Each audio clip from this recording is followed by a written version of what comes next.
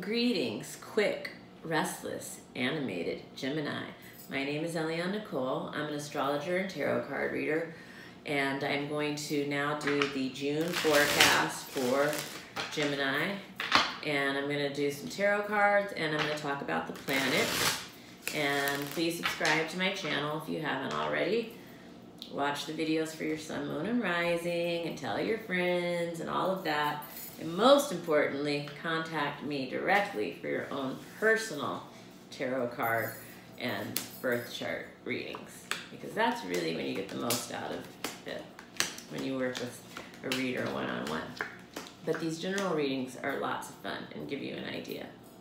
So Gemini, as we start the month of June, it looks like uh, you're the page of rods reverse. So that can be um, a couple of things. It can be either delays or postponements in a journey, traveling or, or any kind of journey. Um, and it, or else it could be um, a new project that's having trouble getting off to the ground, a new project having trouble getting off the ground, maybe having false starts or delays in starting. And another thing that it can represent for Geminis who have children, it can be a child who's having a difficulty getting something started and you're covered by the Queen of Swords reverse. So for Gemini women, I would say um, this is a time to have awareness around your sharp tongue. And um, for Gemini men, um, it looks like you might be dealing with um, a sharp tongue uh, woman around the beginning of the month. Gemini is crossed by the Three of Cups this month, so it looks like you are going to be partying and socializing and having a good time with friends.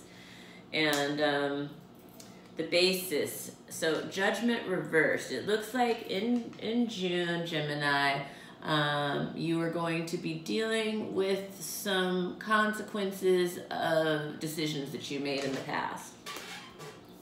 What's leaving is the lovers, um, a romantic situation, um, or uh, it could just be time with your lover. It doesn't mean that you're breaking up necessarily. It means more that um, just maybe a romantic period is passing or behind you. Um, and what could come into being is the Knight of Swords reversed. So um, Gemini men um, around mid-month can be feeling conflicted about something. Gemini women, you can be dealing with a man who is conflicted about something mid-month.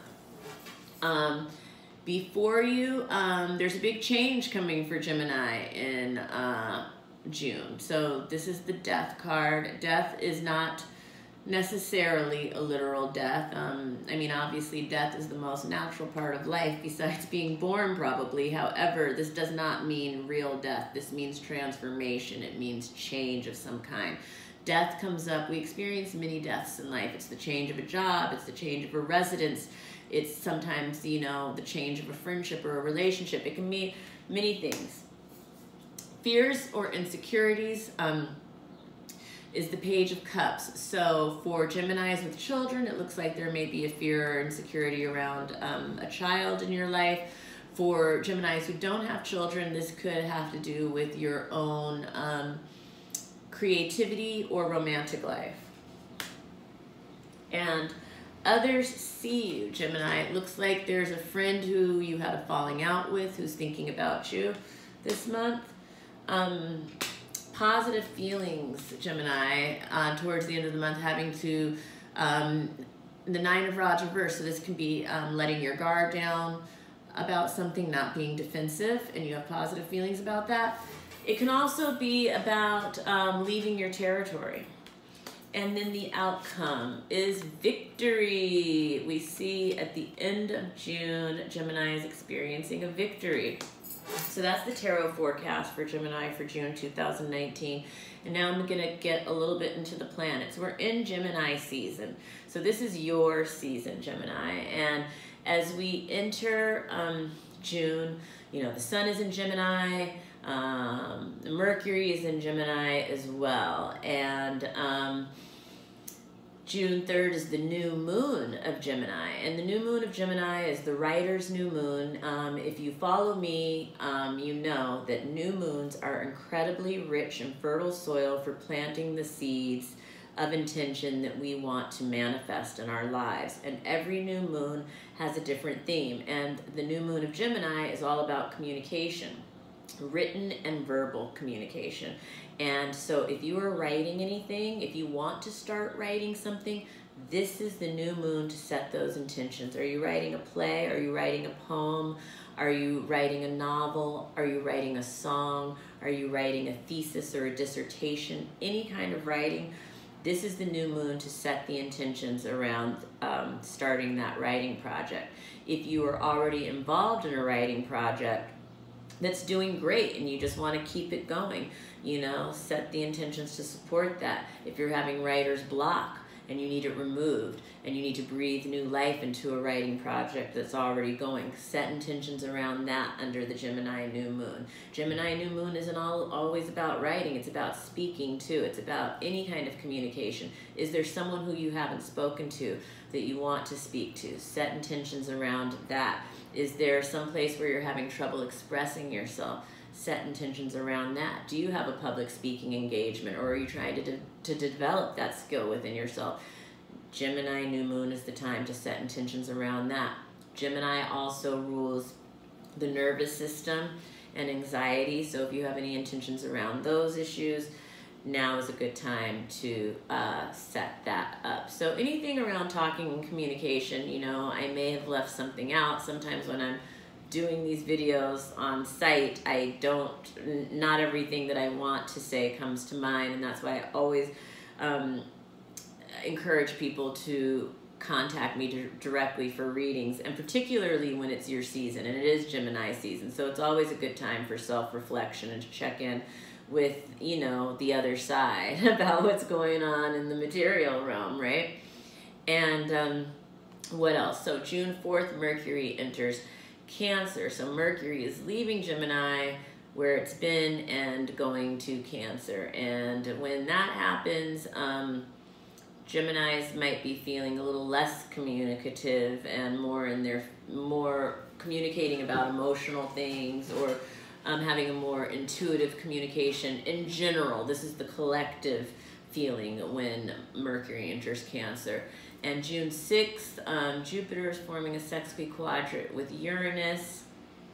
That's um, a Taurus, uh, Gemini, um, Taurus, Sagittarius alignment. And Sagittarius and Gemini oppose each other um, on the zodiac. Uh, so you know, uh, contact me for a reading if you're interested in that aspect. I'm trying to not have these videos go too long, so I don't want to go too much on a tangent. Um, but June 8th, Venus enters Gemini. And so Venus in Gemini is a highly creative time for Geminis. And it can be a highly romantic time for Geminis. Venus in Gemini highlights mental connections.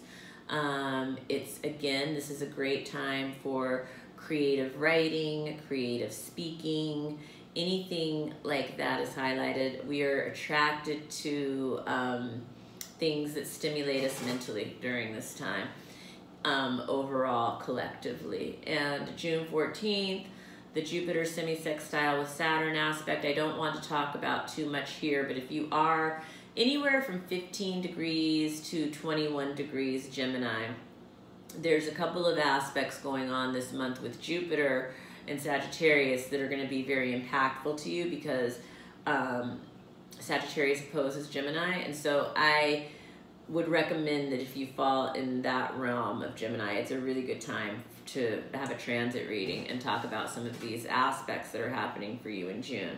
Um, and June 16th, Jupiter square Neptune. Um, June 17th, it's the full moon in Sagittarius.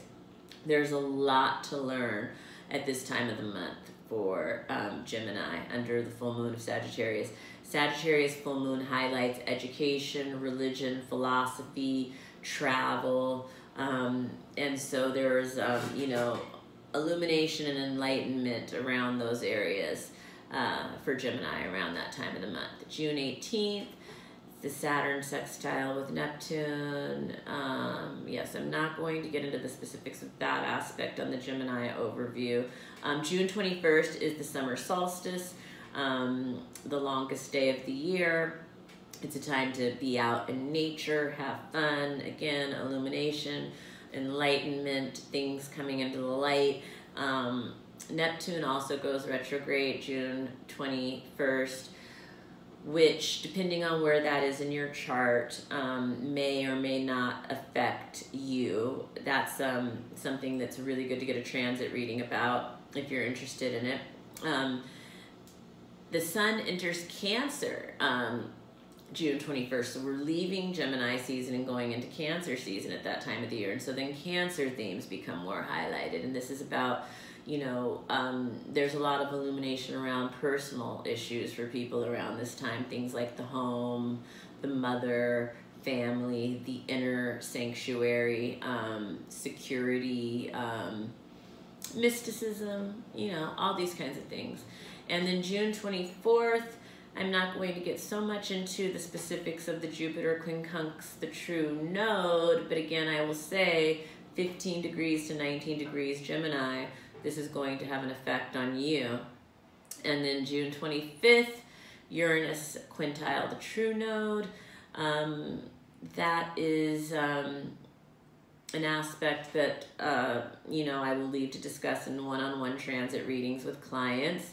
Um, but I do want to talk about it here because I did, and I can't take it back. no, I'm just kidding. no, I wouldn't want to take it back, but I'm just trying to get into a rhythm with these where I'm highlight, highlighting for each sign the things that are the most important to them on these general talks and then getting into the details more in my one-on-one -on -one reading so I can keep my, these readings not being so long. And um, June 26th, Mercury enters Leo. Um, people become very vibrant and dramatic and colorful in communication and confident in communication. And um, yeah, so that's what's going on. Thank you for joining me. That's what's up in the sky for June. And, um, you know, I'm practicing getting better at these videos. If you want to leave any comments to give me any ideas, I appreciate it. Give me a like if you liked it. Give me a don't like if you didn't like it, but I hope that you liked it. Follow me on Instagram at astrology.tarot.elion And um, please contact me for your own personal tarot reading or birth chart reading or transit reading. And thank you for joining me, Gemini. Talk to you soon.